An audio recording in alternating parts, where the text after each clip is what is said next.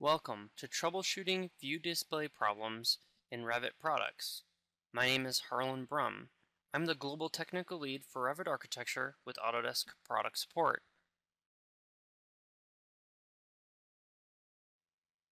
In this class, we'll help you to understand the view display system in Revit Products, how it impacts the visibility of objects and drawings, and we'll teach you the top tips and tricks to quickly resolve view display issues.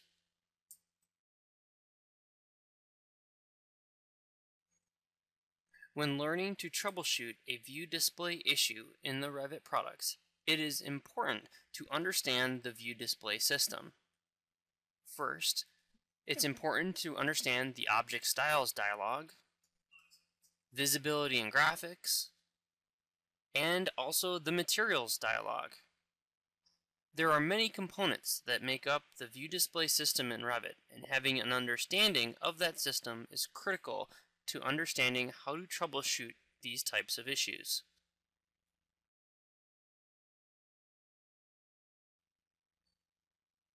The view display system in Revit is complex and contains many parts. The instance properties of the view is the primary location where this information can be accessed.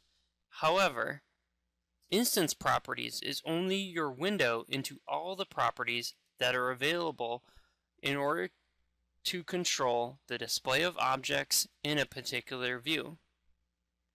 Starting at the left hand side, we have visibility and graphics. Moving down the phase filters. To the right, we have the discipline setting, and the bottom right, the view range. All these settings can control how a view displays within a Revit product.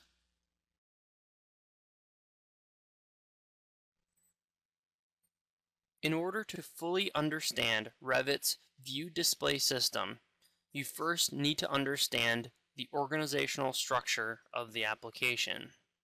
At the highest level, Revit organizes data by the category of the object. Categories could include walls, windows, doors, electri electrical fixtures, lighting fixtures, or structural columns. Each category can have its own level of display within a project. The category level displays includes view specific and globally throughout the entire project. The second level of Revit's organizational structure is the family. Individual families can have their own display settings within a Revit project. The third level is the type. A family's type can be controlled as well. And last, we have the instance of the object. Within Revit products, you can control the visibility of an object based on its instance.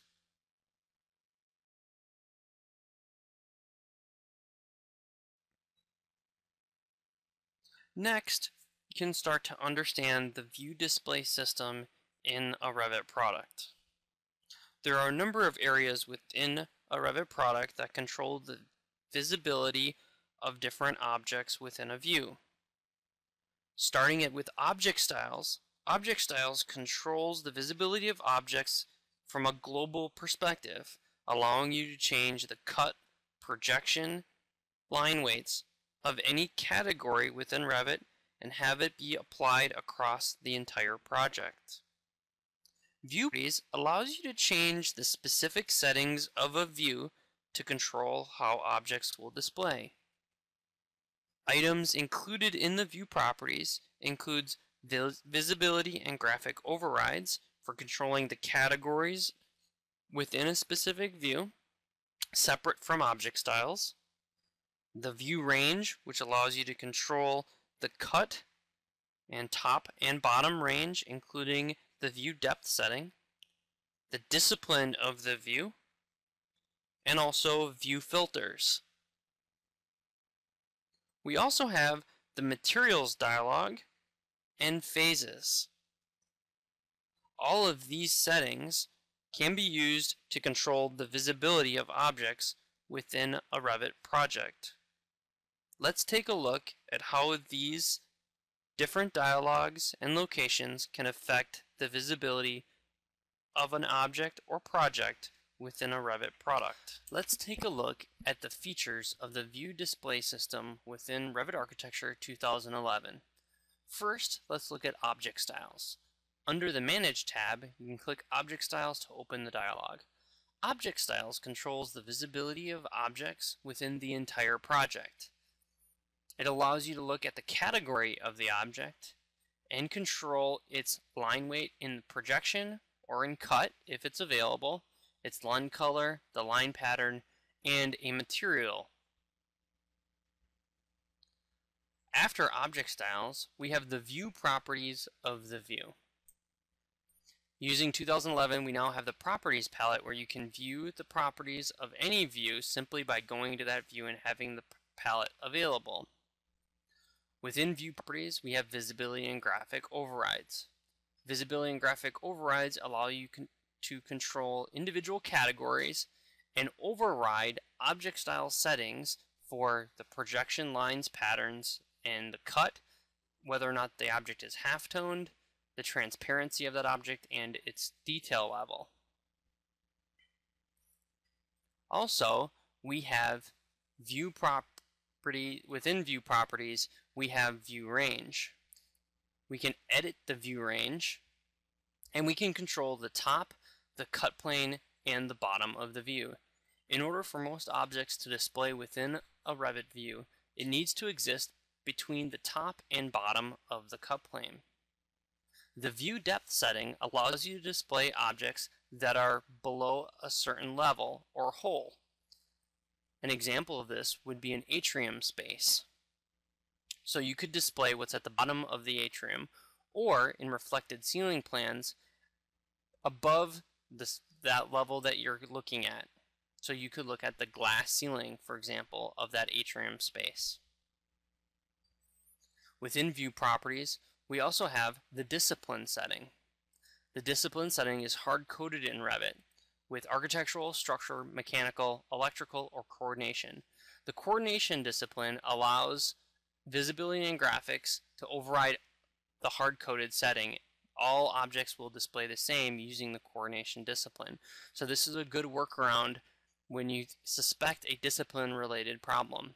Again, certain objects will display certain ways in structural or mechanical views. These settings cannot be modified. The only way to correct the issue is to switch to a coordination discipline.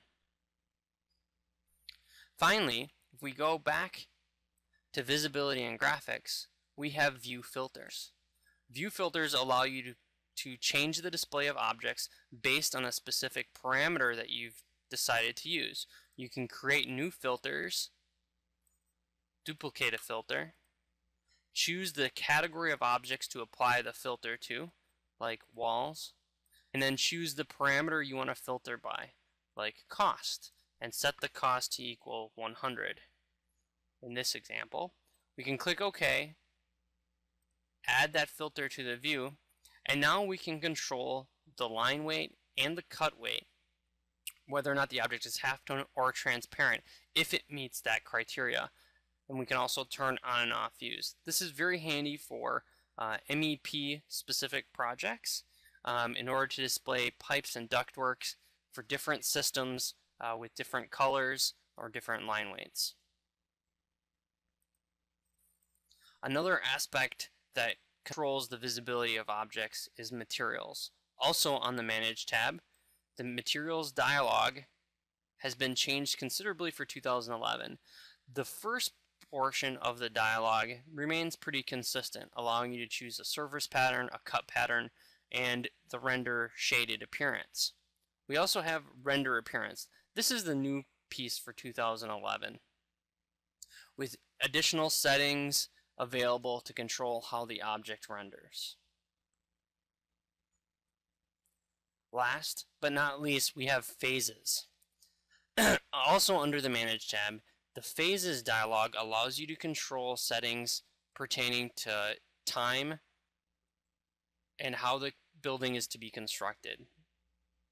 Phase filters control the, the way objects display based on their status. There are only four available statuses within a Revit project, new, existing, demolished, and temporary. The status is determined by the properties of the view and the properties of the object. There are four, sorry, three available overrides you can choose from. By category, meaning we'll use object styles or visibility and graphics to display how the object displays. Overridden, which uses the graphic overrides tab in the phasing dialog, or not displayed to make the object be hidden within that view.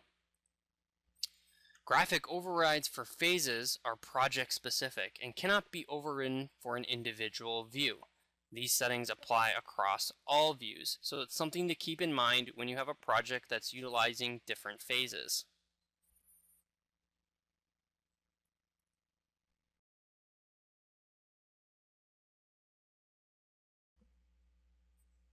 Let's talk about some tips and tricks for solving view display problems. First, cut and paste same place. Using the clipboard, you can cut an object from the Revit model and then paste aligned same place to paste the geometry back into the model into the same location. This can refresh the dependencies within the Revit file and clean up any issues that may have occurred. It's a great trick for working with wall cleanups and other geometry that doesn't appear correctly inside of the Revit project. Applying view templates is a great tool for troubleshooting a Revit display problem. The Apply View Templates command within Revit allow you to include or not include any view property setting that you wish within a specific view.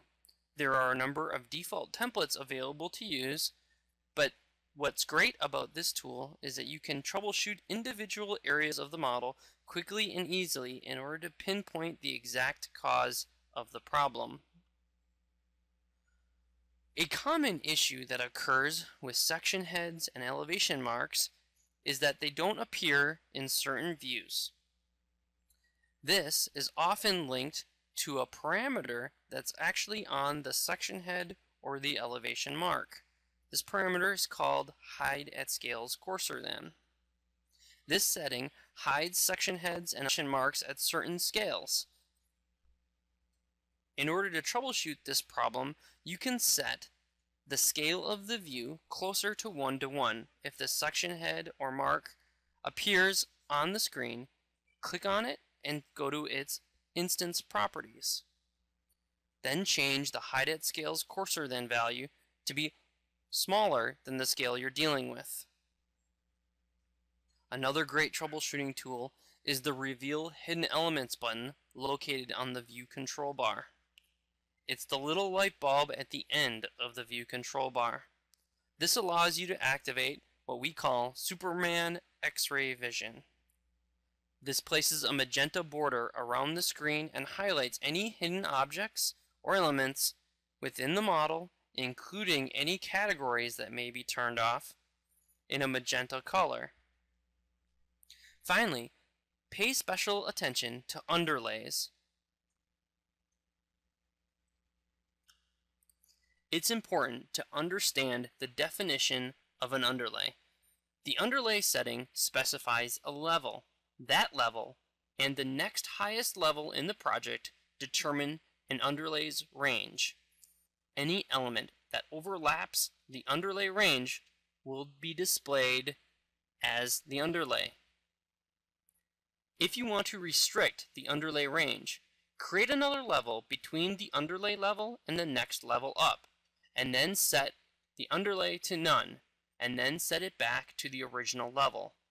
It will now use the newly created level as the top of the underlay range.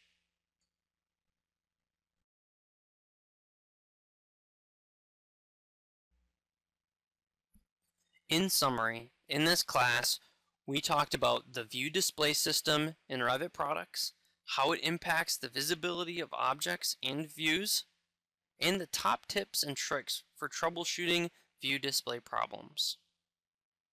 I hope you enjoyed the session, and thanks for attending.